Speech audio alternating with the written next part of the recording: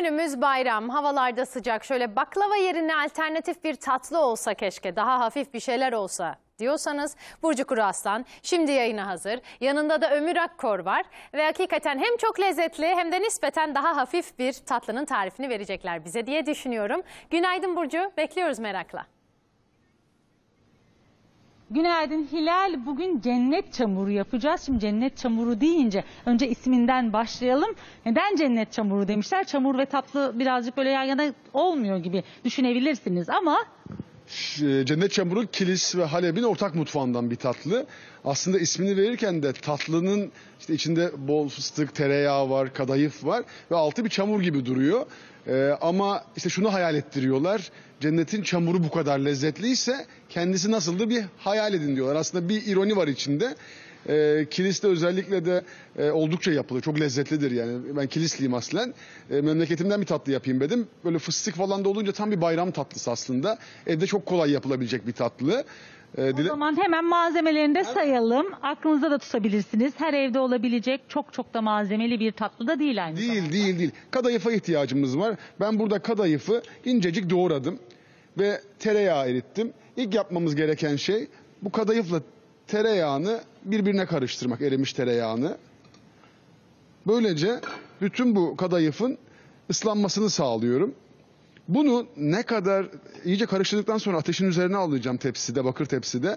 Ne kadar kavurabilirsek, e, ne kadar kısık ateşte kavurabilirsek o kadar lezzetli olur ve e, daha az e, hamur, daha çıtır çıtır olur. Şimdi bunu karıştıktan sonra tavaya alacağız ve yaklaşık yarım saat, 45 dakika şeyde kısık ateşte kavuracağız. Ta ki bu rengi alana kadar. Ben biraz süremiz kısa olduğu için e, kavurma işlemini siz gelmeden hazırladım.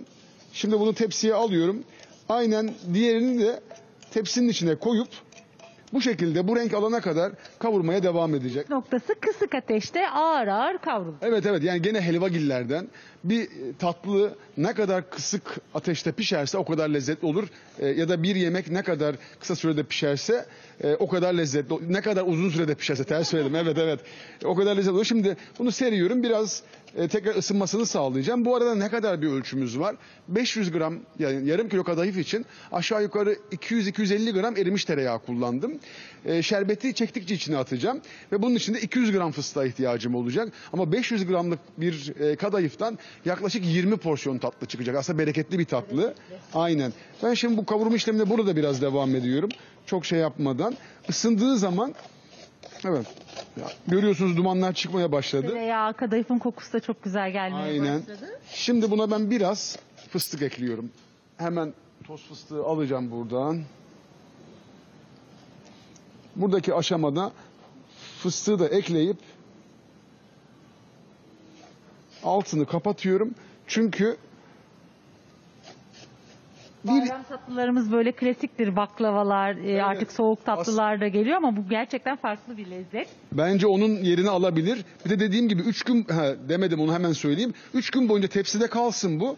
Her lazım olduğunda biraz ısıtarak servis edersek her seferinde sıcak ve taze servis ediyoruz. Baklavadan bir tık daha önceliği bu. Şimdi ben buna biraz daha fıstık ekliyorum. Bu arada altını kapattım. Buradaki amacım fıstığın yağını bırakmasını ve rahiyasını bırakmasını sağlamak. Senden bu arada şerbetim var. Şerbet mutlaka soğuk olacak. Oradan bir çok görelim şık bir istiyorsanız. sunumumuz var. Aynen. Ama bir de gösterelim nasıl hazırlayacağız şerbeti de Aşağı malzemelerini. yukarı 5 bardak şeker, 4,5 bardak su. Sonra bir dilim limonla 10 dakika kaynatacağız ve soğutacağız. Mutlaka ve mutlaka soğuk olması gerekiyor. Yoksa cennet çamurunu hamur hale getiririz. Onu istemiyoruz. Tatlılarda zaten her zaman biri sıcak biri soğuk oluyor. Burada da şerbet soğuk olacak. Koyuyoruz. Şimdi koyuyorum.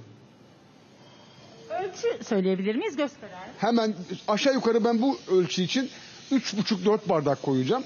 Ama amacımız şu başta kadayıf sıcak olduğu için çok bol görünse de bunu çekmesi gerekiyor. Şimdi gördük bu şeyi. Bu çok gibi görünse de şimdi kenarlardan alacağım ben. Ve bunun bir tık o kıtır e, yani hani mesela pilavın şehriyesi de çok kıtırdır sonra yumuşar ya suyla beraber. İşte o onu bekleyeceğiz ve biraz çekecek. Biraz çamurlaştıracağız. Cennet çamuru haline Tam getireceğiz. olarak işte bu bahsettiğimiz e, kiliselerin bahsettiği cennetin çamuru Gerçekten de böyle olabilir. Evet böyle olabilir. Fıstıktan şöyle biraz daha ekleyeyim hatta. Şimdi bayram olduğu için ben de Görmek nasip olur. Evet, ekstra ekledim fıstığı. Şimdi burada e, bir tık şey davranacağız. E, s- sakin, bir yarım saat bunu dinlendireceğiz. Ama bizim öyle bir vaktimiz yok. O dinlendikçe bu e, katı hale gelecek. Ben bunu mesela büyük bir tepsiye yaptım. Burada aşağı yukarı 250 gram kadayıf var. Yarım kilo deyince bunun tepsiyi büyük hale getiriyoruz. Bu tepsiye sığmaz. Bu tepsinin içinde tatlıyı bütün bayram boyunca mutfak tezgahında tutabilirim. Lazım mı oldu? Hemen lazım oldu. Diyelim ki bu beklemiş hali. Bunu hemen tabağın altına yayıyorum. Ya da bir tabanın içine. Gene şerbet bekledi. Ondan alıyorum. Bunu tekrar ısıtıyorum ve her seferinde sıcak servis yapıyorum. Ben şimdi buradan aynı zamanda servisini göstereyim. Bizde genelde kiliste bu ortadan yenir ve küçük tepsilerle koydu. Ben bir tane buna sunum yapayım isterseniz. Bir tane de buraya sunum yapayım. Evet onu alabiliriz. Hatta şöyle küçük bir Hanımların da çok işini bu bayramda kolaylaştıracak. Baklava açma, hamur açma derdinden kurtaracak. Gerçekten çok lezzetli bir Hem- tarif oldu. Bence hem de misafirleri biraz şaşırtacak e, bu tarif. Çünkü e, basit ve çok lezzetli bir tarif. Ben bu çini tabağa da koydum. Tek yapmamız gereken artık kaymakla ve tarçınla buluşturmak. Ben bu arada bunun da çekmesi için şöyle bırakıyorum. Servisini burada göstermek için şunları da kenara alayım. Normalde yapacak olanlar onu biraz daha beklettikten sonra bir yarım saat servis yapacaklar ama nasıl yapacağımızı gösteriyor. Aynen mutlaka kaymak. İsterseniz mevsim yaz. İyi bir Kahramanmaraş dondurması da bunu taçlandırır. Şöyle kaymağı bıraktım bir parça ortasına. Ilık servis edildiği zaman bile kaymak bir tık böyle eriyor içinde. Ama çok eritmiyoruz. Şimdi ben buna da koyuyorum buradan. Tarçın eski tatlılarda neredeyse Osmanlı mutfağının tamamında var. Çünkü şekeri dengeliyor. Aynen. Şimdi ben buna bir parça tarçın ilave edeceğim.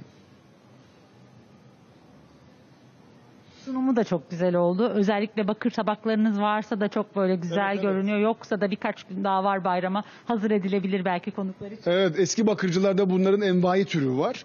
Ee, mutlaka kullansınlar. Bir şey de e, helvayı bakırda kavurmak, pilavı bakırda yapmak, tatlıyı bakırda pişirmek tadına da tat katıyor. Şimdi eğer ben bu tepsiyi götürüp sofranın ortasına koymak isteseydim bunu da beklediğimizi varsayalım. Bunun üzerine hemen yerleştireceğim. Eski usul yemek istiyorsak böyle Evet, evet. kalabalık Bence- aileysek de Evet evet hani tamam gündemimiz biraz Covid ama aile içinde ortadan yenebilir diye düşünüyorum. Bir de artık bu iyi bizim çifte bayramımız. İnşallah e, Covid'den kurtulduk diyoruz bundan sonrası için. Aşılarımızı olduk. E bir de bundan sonrasında da e, hem de Kurban Bayramımız var. İkisini bir arada geçirmiş olacağız. Şimdi bunları da yerleştiriyorum üzerine. Ne, kadar seviyorsanız. Ben şimdi her evin işte dondurma ya da atıyorum kaymak damak tadı başka.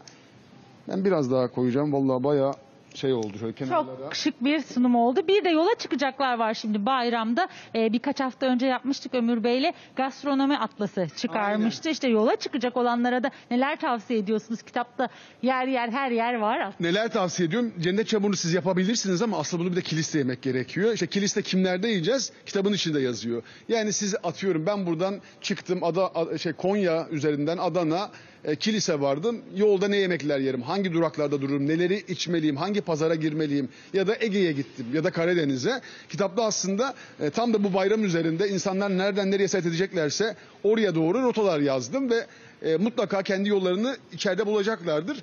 Ve bence şey Hani bu haritalarla mutlaka bu bayram iyi bir Türkiye seyahati yapılır. Çok teşekkür ediyorum efendim. Elinize de sağlık, ağzınıza da sağlık. Gerçekten e, tadına daha henüz bakmadım ama çok güzel görünüyor. Kokusu bile yetti şu an için. Çok da basit bir tarif oldu aynı zamanda. Her evde yapılabilecek diyelim Hilal.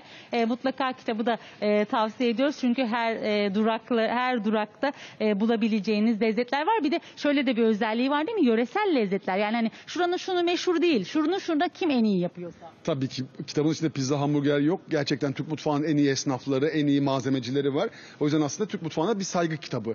E, Türk esnafına bir saygı kitabı. Biz ne kadar mutfağımızı yabancılaştırsak işte tab bunların yerine profiteroller, browniler koysak da Türk mutfağı dünyada her zaman kazanacak. Aslında bir, bir tık bütün bu esnafa da e, gereken saygıyı gösterilmesini gerektiğini belirttiğim bir kitap oldu. O yüzden de çok memnunum. Evet içinde Türkiye'nin en iyi yöresel lezzetleri var diyebilirim. Teşekkür ederim efendim. Tekrar ağzınıza elinize sağlık diyelim. İşte herkes belki de bu bayramı bu tatlıyla güzel bir şekilde taçlandırabilir. Sözü tekrar size bırakalım.